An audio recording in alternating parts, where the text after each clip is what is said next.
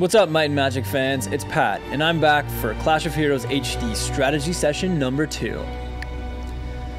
Today, we're going to take a closer look at the units in combat. Each unit has a special ability that can come in handy during those hairy fights. Take, for example, the Deer from the Sylvan faction. It has the Leaping Strike ability, which allows it to, well, you guessed it, leap over enemy walls. Check out the Vampire, whose Blood Drain ability drains health from the enemy hero and restores life to your hero.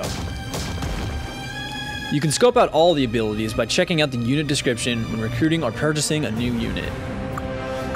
Moving right along, there are over 50 artifacts spread throughout the game for you to find, equip, and master. Take for example the Revive Flame, an artifact that's unique to the Inferno faction. If your hero dies, your charging formations are sent immediately, and you're revived with 5 HP in the next turn.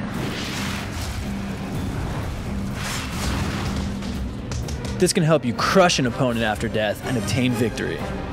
The possibilities are endless, well almost endless. Try out multiple combinations until you find the one to decimate your opponents. Whether you're playing against friends online or the AI, make them feel the might of your magic. Ha, see what I did there?